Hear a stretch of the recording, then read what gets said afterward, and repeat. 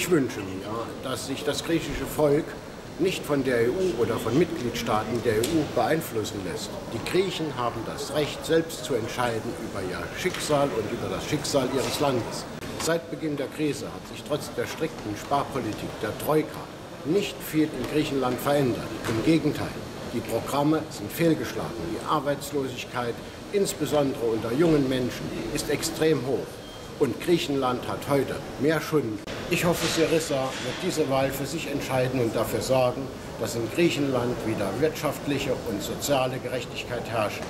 Das wäre ein positives Signal für die bevorstehenden Wahlen in anderen Ländern Europas, vor allem in Spanien, wo die Linke ebenfalls eine gute Chance hat, Regierungsverantwortung zu übernehmen.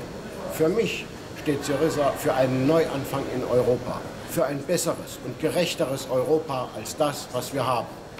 Griechenland wählt links, damit es eine Chance hat.